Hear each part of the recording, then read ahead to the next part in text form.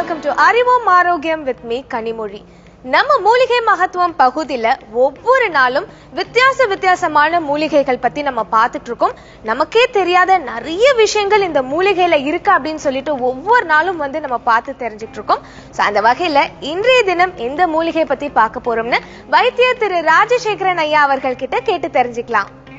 வணக்கம் ஐயா. வணக்கம்மா. இன்னைக்கு நம்ம நிகழ்ச்சியில எந்த மூலிகை பத்தி பார்க்க போறோங்க ஐயா? இன்னைக்கு நம்ம பார்க்க போற மூலிகை மலை வேம்பு. இப்போ வேம்பு அப்படின்னு சொல்லி சொன்னீங்கன்னா நிறைய வகைகள் இருக்கு. அதுலயே இந்த மலை வேம்புக்குன்னு ஒரு தனி மகத்துவ குணமே இருக்கு. எப்படின்னு கேட்டீங்கன்னா இந்த மலை வேம்பு ஏன் மலை வேம்பு அப்படின்னு பேர் வந்ததுனாக்கா கடல் மட்டத்திலிருந்து மலைகள் ஆயிரம் அடி உயரத்துக்கு மேல உள்ள மலைகளில் மட்டும்தான் இந்த மரம் கிடைக்கும்.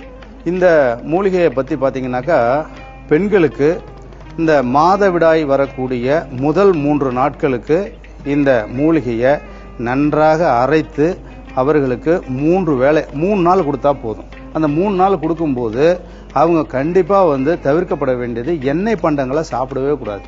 அப்படி அவங்களுக்கு கொடுத்துக்கிட்டு வரும்போது அந்த கருப்பையில் வந்து இப்போது சில பேருக்கு பார்த்தீங்கன்னா நீர்க்கட்டிகள்னு சொல்கிறாங்க நீர் கொப்பளம் வருது நீர்க்கட்டிகள். எதனால் அந்த நீர்க்கட்டிகள் வருதுன்னு கேட்டிங்கன்னா உடல்ல தேங்கி இருக்கக்கூடிய கழிவுகள் வெளியேறாத காரணத்தால தான் அந்த நீர்க்கட்டிகள் கொப்பளங்கள் உடல் உஷ்ணத்தாலையும் அந்த கர்ப்பப்பையில வந்து அந்த நீர்க்கட்டிகள்லாம் வருது.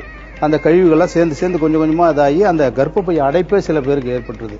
அப்படி அந்த கர்ப்பப்பை கோளாறு இருக்கக்கூடிய பெண்களுக்கு அந்த முதல் மூன்று நாள் இந்த மூலிகையை நம்ம காலையில் கொடுக்கறதால அவர்களுக்கு அந்த கர்ப்பப்பையில் இருக்கக்கூடிய தொற்று கிருமிகள்லாம் வெளியேறி அவங்க பூர்ண குணமடைஞ்சு ஒரு தாய்மை அடைவதற்கு உண்டான தகுதியை பெற்றுக்கொள்வார்கள். அதோடு இல்லாத இது கசப்பு தான். கசப்பாக இருக்கிறதால தான் உடம்புல இருக்கக்கூடிய அந்த நோயை வெளியேற தள்ளுது. ஏன் மூன்று நாள் மட்டும் அப்படின்னு சொல்லி கேட்டிங்கன்னா கசப்பு அதிகமாக உடம்புக்கும் சேர்த்துக்கவும் கூடாது. அது ரத்தத்தை கெடுக்கிறதுக்கு உண்டான வாய்ப்பும் இருக்கு. அதனால அந்த அளவோட பயன்படுத்திக்கணும். கடுமையான ஜுரம். இப்ப டெங்கு காய்ச்சல் வந்ததுன்னு வச்சுங்களேன் இப்ப யாருக்குமே தெரியாத இருந்தது. இப்ப பாத்தீங்கன்னா யாரை போய் கேட்டாலும் சொல்லுவாங்க டெங்கு காய்ச்சலா? நிலவேம்பு கொடு. அப்படி இல்லையா? மலை வேம்பு கொடு. அப்படி இல்லையா? பப்பாளி இலையை கொடு. அப்படின்னு இப்போ எல்லாருக்குமே ஓரளவுக்கு அரசாங்கமே அந்த விழிப்புணர்வை நம்ம மக்களுக்கு ஏற்படுத்தி கொடுத்துருக்காங்க. அதே போல் இதில் இன்னொரு தன்மை என்னன்னு பார்த்தீங்கன்னா இது வந்து சிறுநீரகங்களில் அதாவது கணயம் கெட்டு போச்சுன்னா ஒருத்தருக்கு சிறுநீர் கோளாறு வந்துடும் சிறுநீர் வெளியே போகாத என்ன ஆயிடுது? அந்த சிறுநீரில் ஏற்படக்கூடிய தொற்று அதில் ஏ- வெளியேறாத கழிவுகள்லாம் கல்லுவாக மாறி அந்த அடைப்பு ஏற்பட்டு ரொம்ப பாதிப்பை கொடுக்குது. அதுபோல் உள்ள காலங்களில் இந்த மலை வேம்பை நீங்கள் காலை மாலை இரண்டு வேளையுமே கொடுத்துக்கிட்டு வர்றதால அவங்களுக்கு என்ன ஒன்று கேட்டிங்கன்னா அந்த சிறுநீரில் உள்ள கழிவுகள்லாம் வெளியேறி கிருமி தொற்றுலாம் வெளியேறி அந்த கல் அடைப்பு இருந்ததுலாம் வெளி அடிக்கடி அவங்களுக்கு யூரின் போயிட்டே இருக்கும். இப்போ இந்த மலைவேம்பை சாப்பிட்றதால யூரின் அதிகமாக சுரக்க ஆரம்பித்து அந்த சிறுநீர் போகும். அதால் பயப்பட வேண்டாம். அப்படி போகிறதால தான் அதில் உள்ள கழிவுகள்லாம் வெளியேற்றுறதுக்காக தான் அந்த சிறுநீர் பெருக்கி அப்படின்னே சொல்லலாம். இதுக்கு அப்படி ஒரு பேரும் இருக்குது அது மட்டும் இல்லாத இந்த மலைவேம்பில் இருக்கக்கூடிய வேர் பகுதி மரப்பட்டை பகுதி இதையும் வந்து சூரணமாக செஞ்சு தண்ணீரில் போட்டு கொதிக்க வச்சு குடிக்கிறதால உடம்புக்கு நல்ல புத்துணர்ச்சி கொடுக்கும். ஐயா இந்த மலை வேம்பை வந்து எப்படிலாம் நம்ம பயன்படுத்த முடியும்? இப்போ நான் சொன்னேன் இல்லைங்களாம்மா இதை வந்து கெட்டியாக வர்ற மாதிரி அரைச்சிக்கணும். ஒரு நெல்லிக்காய் அளவு எடுக்கணுன்னாக்கா தண்ணி அரைச்சிப்பிட்டிங்கன்னா பண்ண முடியாது. அது எப்படின்னு நான் இப்போ செஞ்சு காட்டுறேன். இப்போ இந்த மலை வெம்பு கூட இந்த இலையெல்லாம் கிள்ளி போடுறோம் இல்லையா? இது கூட வேற எந்த பொருளும் சேர்க்க வேண்டியதில்லை. இது அப்படியே அரைச்சி ஒரு உருண்டையாக்கி யாருக்கு தேவைப்படுதோ அவர்களுக்கு மட்டும்தான் கொடுக்க போகிறோம் ஏன்னா இது வந்து மற்ற மூலிகை மாதிரி இதை வந்து சும்மா சாதாரணமாக இந்த பாலில் கலந்து தயிரில் கலந்து அப்படி சாப்பிடணும் இப்படி சாப்பிடணும்லாம் சாப்பிட வேண்டியதில்லை. இது காய்ஞ்ச பிறகு இந்த டெங்கு காய்ச்சல் அந்த மாதிரி ஜுரம் உள்ளவங்களுக்கு அது வைத்தியர்கள்ட்ட போய் நீங்கள் கேட்டு தெரிஞ்சுக்கோங்க. சில மூலிகைகள் கூட சேர்த்து அவங்க சாப்பிட சொல்லுவாங்க. அவங்களுடைய அறிவுறுத்தின்படி இதை சாப்பிட்ணும். குழந்தைகளுக்கு பெரும்பாலும் அதிகமாக கொடுக்கக்கூடாது குறைந்த அளவு தான் ரொம்ப குறைந்த அளவு கொடுக்கணும். அதால் குழந்தைங்களுக்கு கொடுக்கக்கூடாதுன்னு இல்லை. இப்போ குழந்தைங்களுக்கு வயிற்றில் இருக்கக்கூடிய அந்த புழுக்கள்லாம் வெளியில் வரணும்னா கண்டிப்பாக அந்த எண்ணெய் ஒரு சொட்டு தான் சொன்னேன். ஒரு சொட்டு அல்லது இரண்டு சொட்டு. பெரியவங்களாக இருந்தால் ஒரு மூணு சொட்டு எண்ணெய். அதுக்கே அது எல்லாம் வெளியில் வந்துடும் இப்போ நம்ம இந்த மூலிகை போட்டிருக்கோம். லேசான அளவு ஒரு அரைச்சி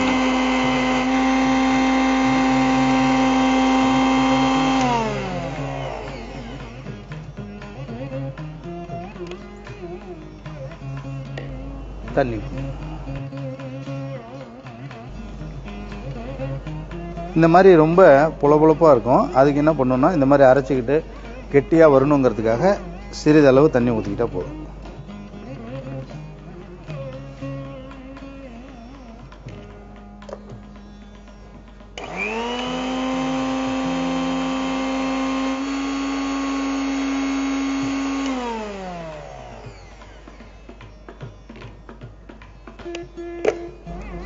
ஓரளவு இப்போது இதை வந்து நல்லா நம்ம அரைச்சிருக்கிறோம். இப்போ இதுதாம்மா ஒரு நெல்லிக்காய் அளவு நமக்கு இப்போது நம்ம சொல்கிறது இவ்வளோ கூட தேவையில்லை. இதுலயே இன்னும் கூட குறைச்சிக்கலாம். ஏன்னா அதிகமாக கசப்பு நம்ம கொடுக்கக்கூடாது. இப்படி பிடிச்சி ஒரு உருண்டை மாதிரி எடுத்து இதை வச்சுக்கணும். இது அப்படியே அவங்க வந்து காலையில் வெறும் வயிற்றுல அந்த மாத விளக்கான முதல் மூன்று நாள் தொடர்ந்து சாப்பிட்டுக்கிட்டு வந்துடணும். காலையில் ஒரு ஆகாரத்துக்கு முன்பு இதை சாப்பிட்டு ஒரு மணி நேரத்துக்கு பிறகு தான் வேறு எந்த ஆகாரமாக இருந்தாலும் சாப்பிடணும். அப்படி சாப்பிட்டுக்கிட்டு வந்தீங்கன்னா அந்த கர்ப்பப்பையில் ஏற்படக்கூடிய அந்த கழிவுகள் வெளியேறி அந்த நீர்க்கட்டிகள் எல்லாம் சரியாகி உங்களுக்கு அந்த தொற்று ஏற்படாமல் குழந்தை பாக்கியம் பெறுவதற்கான வாய்ப்புகள் அதிகரிக்கும். இது இப்படி உருண்டை பண்ணி தான் சாப்பிடணுமா? இல்ல அதை தவிர்த்து கசாயம் பண்ணி எல்லாம் சாப்பிடலாமா? உருண்டை பண்றது எதுக்காகன்னா ஒரு அளவு. இப்போ ஒரு நெல்லிக்காய் அளவுன்னா எவ்வளவு உருண்டை பெருசுனா இவ்வளவு பெருசு கூட பிடிச்சிருவாங்க. அப்போ நம்ம அந்த கையில வந்து நம்ம அளவு அந்த உருண்டை பிடிக்கும் போது எவ்வளவு அளவுங்கிறது தெரிஞ்சிடும் இப்போ இன்னைக்கெல்லாம் வந்து மிஷின்ல வந்து மாத்திரை செய்றாங்க. அதனால அளவு பார்த்துக்கிறாங்க அந்த காலத்துல வந்து எதை ஒப்பிட்டு சொல்லுவாங்க? ஒரு குண்டின் மணி அளவு. இத்தனை வராகன் எடை. இவ்வளவு சிட்டிகை அப்படின்னு ஒரு அளவுலாம் அந்த காலத்தில் சொல்லி வச்சுருந்தாங்க. அப்போ இப்போ உள்ளதுபடி ஒரு நெல்லிக்காய் அளவு அப்படின்னு சொன்னால் தான் பட்டுன்னு எல்லாருக்கும் புரியும். அதனால தான் அந்த ஒரு நெல்லிக்காய் அளவு அப்படின்னு சொல்கிறோம் மலைவேம்பை மருந்தாக தயாரிக்கும் முறை. மிக்சியில் மலைவேம்பு இலைகளை ஒன்றிரண்டாக அரைத்து கொண்டு பின்னர் சிறிது தண்ணீர் விட்டு கெட்டியாக அரைத்துக் கொள்ளவும். அதனை நெல்லிக்காய் அளவிற்கு உருட்டி எடுத்தால் மலைவேம்பு மருந்து தயார்.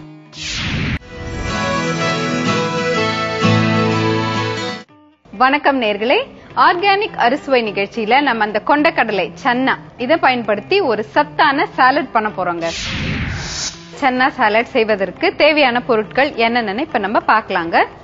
ஊற வைத்த வெள்ளை கொண்டக்கடலை ஒரு கப் ஊற வைத்த சிவப்பு கொண்டக்கடலை ஒரு கப் மஞ்சள் குடமிளகாய் பச்சை குடமிளகாய் வெள்ளரிக்காய் சாட் பொடி பெங்களூர் தக்காளி எலுமிச்சம் சாறு மல்லித்தழை உப்பு தேவையான அளவு.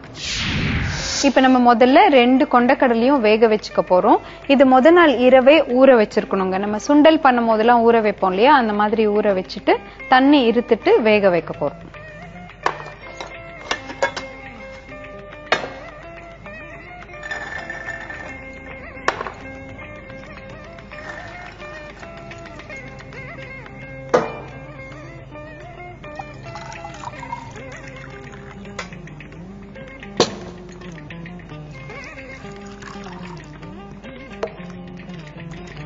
சிறிதளவு உப்பு சேர்த்துக்கலாம். அப்பதான் அதுல நல்லா சார்ந்து இருக்கும். இல்லைன்னா சுண்டல்ல அந்த உப்பு இருக்காது.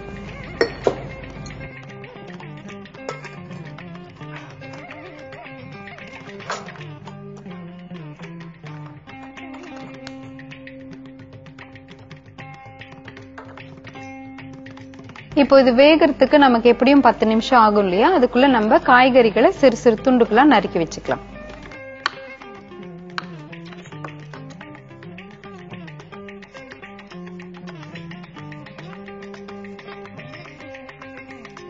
நம்ம பச்சை காய்கறிகளை நம்ம வாழ்க்கையில தினமும் சேர்த்துக்கிட்டோம்னாலே இந்த செரிமானம் சார்ந்த எந்த பிரச்சனைகளும் வராதுங்க. குறிப்பா குழந்தைகளுக்கு பாத்தீங்கன்னா பச்சை காய்கறிகளை பழக்கப்படுத்துறதுன்றது ரொம்ப ரொம்ப முக்கியம். அவங்களுக்கு சுவையானதா நம்ம செஞ்சு கொடுத்துட்டோம்னா அதை விரும்பியே உங்களை நச்சரிச்சு கேட்டே வாங்கி சாப்பிடுவாங்க. அந்த அளவு சுவையா தான் நம்ம இந்த சாலட் இப்ப பண்ணிட்டு இருக்கோம். இதுல முக்கியமா உங்களுக்கு வந்து பொறுமை வேணும். ஏன்னா நம்ம காய்கறிகளை அழகா நறுக்கணும். சும்மா குழம்புல வெட்டி போட்டோமா அப்படி கொதிச்சுதா அந்த மாதிரி இருக்காது. பச்சையா நம்ம அதை சாப்பிட போறோம். அப்ப தோற்றத்துக்கு அழகா இருந்தாதான் விரும்பி சாப்பிடுவாங்க.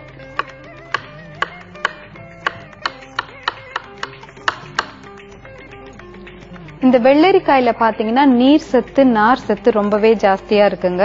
இது அப்படியே நம்ம ஸ்லைஸ் பண்ணி கூட கொடுக்கலாம். கொஞ்சம் பெப்பர் சால்ட் போட்டு கொடுத்தீங்கன்னா குழந்தைகள் விரும்பி சாப்பிடுவாங்க. நம்ம இந்த மாதிரி சாலட்க்கு வந்து குக்கும்பர் ரொம்ப ரொம்ப முக்கியம். நான் எல்லாத்துலயுமே போடுவேன் பயன்படுத்தும் பொழுது. இப்போ வெள்ளரிக்காய் நறுக்கியாச்சு. இப்போ ஆவி வருது நான் வெயிட் போடுறேன். அடுத்து நம்ம இந்த மஞ்சள் குடமிளகாய் நறுக்க போறோம்.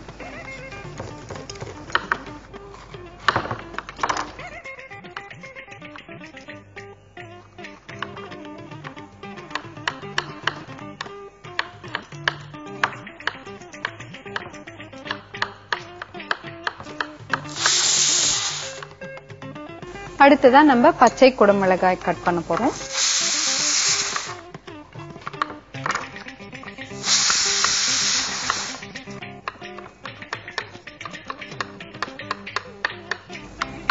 இந்த மாதிரி பச்சை காய்கறி நம்ம ஏன் சேர்த்துக்கணும்னு பாத்தீங்கன்னா நமக்கு செரிமானமும் ரொம்ப சீக்கிரமா ஆயிடுது. அதுவும் இல்லாம இதுல இருக்க என்சைம்ஸ் தான் நம்மளோட செரிமானத்துக்கு ரொம்ப உதவுது. நம்ம ஓவரா அது சமைக்கும் பொழுது என்ன ஆகுறது? அது எல்லாமே வந்து டிஸ்இன்டிகிரேட் ஆயிடும். அதெல்லாமே கரைஞ்சு போயிடுதுன்னு சொல்றாங்க. பச்சை காய்கறியில பாத்தீங்கன்னா அது அப்படியே இருக்கும். நூறு சதவிகிதம் அப்படியே அதுல ப்ரிசர்வ் ஆறதுனால உங்க செரிமானம் ரொம்ப நல்லா இருக்கும்.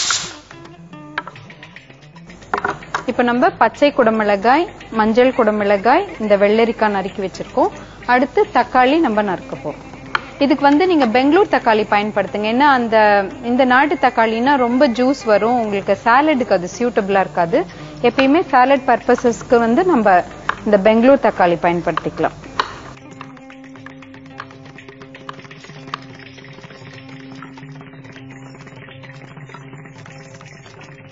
சரி இப்ப நம்ம பல வண்ணமான காய்கறிகள் கட் பண்ணி வச்சிருக்கோம். இப்போ நம்ம சன்னா நல்லா வெந்து நல்லா வாசமா இருக்குங்க. அந்த சுண்டலுடைய வாசனை நினைவூட்டுது. இது நம்ம அடுப்பை அணைச்சிட்டோம். இந்த ஆவி அடங்கின உடனே நம்ம இதை திறக்கலாம். இப்ப காய்கறிகளும் தயாரா இருக்கு. இது நீங்க வந்து ரொம்ப முன்னாடியே கட் பண்ணி வச்சிடாதீங்க. ஏன்னா நம்ம வெள்ளரிக்காய் தக்காளி இதெல்லாம் பயன்படுத்துறோம் இல்லையா? அது ஒரு மாதிரி நீர் விட ஆரம்பிச்சிடும். அதனால கரெக்டா டைம் பண்ணி நீங்க கட் பண்ணி வச்சுக்கலாம்.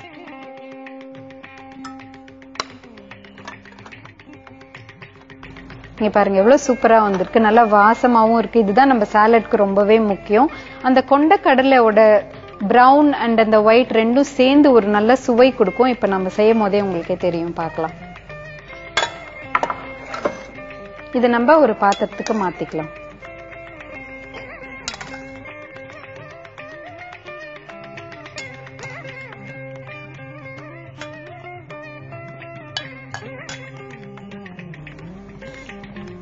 இது சாயந்தரம் குழந்தைகள் ஸ்கூல்லாம் முடிஞ்சு வரும்பொழுது அவங்களுக்கு சூடா செஞ்சு கொடுத்தீங்கன்னா ரொம்பவே விரும்பி சாப்பிடுவாங்க. அதுவும் எவ்வளவு சத்தானது பாருங்க. செய்யறதுக்கும் ஈஸியா இருக்கு. சத்தானதும் கூட இந்த எல்லா காம்பினேஷனோட இருக்கிறதுனால உங்களுக்கே ரொம்ப பிடிக்கும்.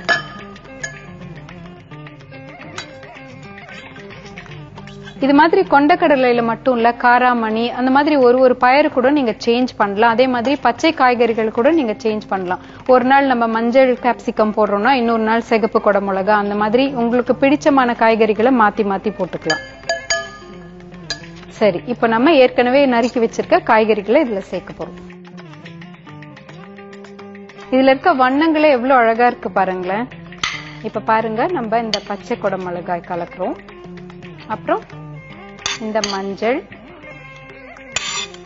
வெள்ளரிக்காய் வெள்ளரிக்கால சில சமயம் பாத்தீங்கன்னா நடுவுல ரொம்ப தண்ணி விடுற மாதிரி இருக்கும். அந்த சமயத்துல அந்த விதை பகுதியை நீக்கிட்டு வெளியில இருக்க அந்த சதைப்பற்றான பகுதியை யூஸ் பண்ணிக்கலாம். ஏன்னா சாலட்ல நீங்க கொஞ்ச நேரம் கழிச்சு கூட சாப்பிட விரும்புவீங்க. அந்த மாதிரி வெள்ளரிக்காய் பயன்படுத்துனீங்கன்னா ரொம்ப நீர்த்து போயிடும். கீழே அப்படியே தண்ணியா தங்கிடும். அது ரொம்ப முக்கியமா நீங்க கவனிக்கணும் இதுல அதே மாதிரி தக்காளிலையும் நம்ம பெங்களூர் தக்காளி பயன்படுத்திருக்கோம். இந்த காம்பினேஷன் பாருங்க இப்பயே உங்களுக்கு சாப்பிடணும் போல ஆசையா இருக்கா? நம்ம சுவையான உணவு தயாரிக்கிறதுக்கு ரொம்ப கஷ்டம்லாம் படவே தேவையில்லை. இது பாருங்க வீட்டிலே இருக்கிற எவ்வளோ பொருட்கள் நம்ம தனித்தனியா போய் தேடி பிடிச்சி வாங்குற பொருள் கூட கிடையாது. இது எல்லாமே ஆர்கானிக்கா இயற்கை முறையில விளைந்த காய்கறிகள் இந்த கொண்டக்கடலை எல்லாமே அந்த மாதிரி நம்ம பயன்படுத்திருக்கோம். அது இந்த நிகழ்ச்சியோட ஸ்பெஷாலிட்டி இப்போ நம்ம இதுல என்ன செய்ய போறோம்னா கொஞ்சம் சாட் மசாலா லெமன் ஜூஸ் அப்புறம் உப்பு சேர்க்க போறோம்.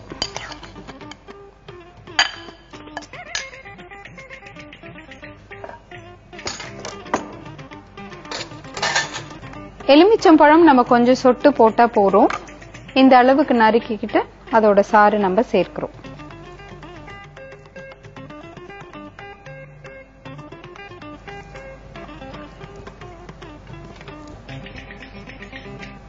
கொஞ்சம் உப்பு. இப்போ நம்ம கொஞ்ச அளவு உப்பு சேர்த்தா போதும். ஏன்னா நம்ம கொண்டக்கடலை வேக வச்சும் போது உப்பு சேர்த்தோம் இல்லையா? இந்த உப்பு எதுக்கு சேர்க்கிறோம்னா காய்கறியில சாறுறதுக்காக சேர்க்கிறோம். அந்த எலுமிச்சம் பழமும் அந்த உப்பும் சேர்ந்து தான் அந்த சுவை கொடுக்கும். இப்ப நம்ம கொத்தமல்லி தழை கொஞ்சம் கட் பண்ணி போட போறோம். இதுக்கு ஒரு நல்ல வாசம் இருக்கும். அதுவும் இல்லாம இதுல நல்ல நார் சத்தும் இருக்கு. வைட்டமின் சத்துக்களும் இருக்கு. நம்ம கொத்தமல்லி எல்லாம் சும்மா நம்ம சமையல்ல பாத்தீங்கன்னா எல்லாத்துலயுமே இருக்கும். ரசம் சாம்பார் எல்லாத்துலயுமே நம்ம போடுவோம். அது வெறும் வாசத்துக்காக மட்டும் இல்லைங்க. அதுல இருக்க சத்துக்களுக்காகவும் தான் நம்ம அதை சேர்க்கிறோம். இதுல வந்து நல்ல பொடியா நறுக்கிக்கோங்க. அதே மாதிரி அந்த முத்தலான தண்டு பகுதியை நீக்கிடுங்க. பிஞ்சா இருந்தா நம்ம போட்டுக்கலாம். உங்களுக்கு நறுக்கும் பொழுது அது ஈஸியா நறுக்க வரணும். இது நம்ம மேல இப்படி சேர்த்துக்கிறோம்.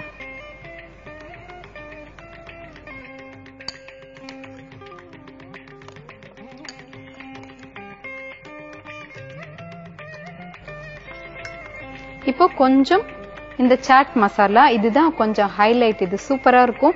ஏன்னா வழக்கமா நம்ம சாலட்ல இது சேர்க்க மாட்டோம். இது ஒரு தனியான ஒரு சுவை கொடுக்கும். ஆனா ரொம்ப கொஞ்சமா பயன்படுத்துங்க. ரொம்ப போட்டா அது ரொம்ப ஓவர் பவரிங்கா இருக்கும்.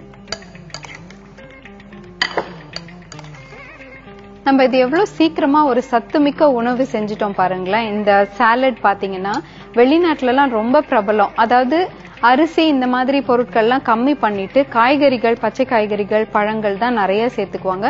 நம்ம நாட்டுல பாத்தீங்கன்னா மூணு வேளையுமே சாதம் சம்பந்தப்பட்டது சாப்பிட்டே நம்ம பழகிட்டோம். அதனாலதான் பாத்தீங்கன்னா தமிழ்நாட்டுல டயபெட்டிஸே ஜாஸ்தின்னு சொல்றாங்க.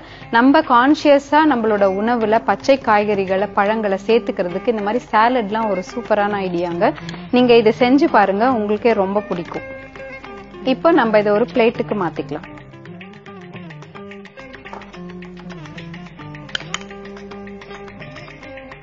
நம்ம உணவுல ஒரு இருபத்தஞ்சு சதவிகிதமாவது நம்ம இந்த மாதிரி உணவோட ஆரம்பிக்கலாம்.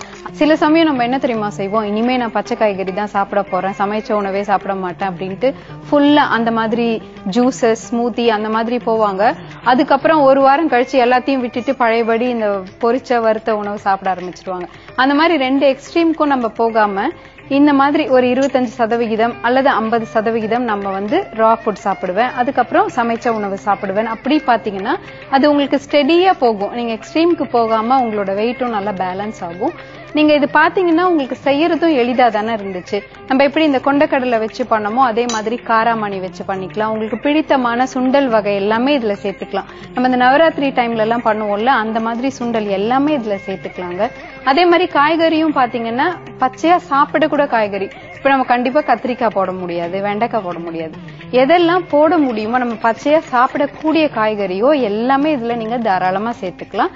அதே மாதிரி இப்ப எலுமிச்சம் பழம் ஒரு தடவை ட்ரை பண்றீங்கன்னா வேற மாதிரி புளிப்பு ஆரஞ்சோட ஜூஸ் ட்ரை பண்ணலாம். அந்த மாதிரி ஈவன் மாதுளம் பழத்தோட ஜூஸ் எடுத்து கூட இந்த சாலட்ல போட்டுக்கலாம். ரொம்பவே சுவையா இருக்குங்க.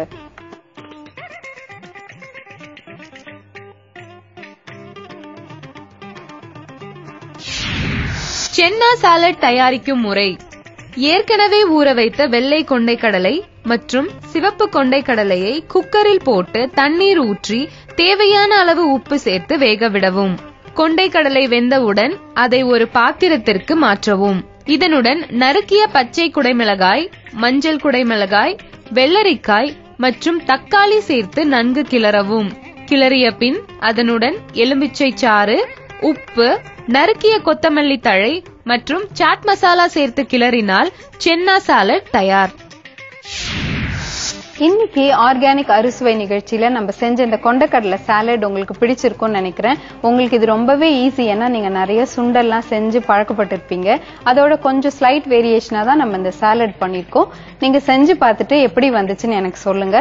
மீண்டும் நம்ம ஆர்கானிக் அறுசுவை நிகழ்ச்சியில நல்ல சுவையான டிஷ்ஷஸ் செஞ்சு உங்களுக்கு முன்னாடி பிரசன்ட் பண்றேன். அது வரைக்கும் வணக்கம் கூறி விடைபெறுவது தென்றல்.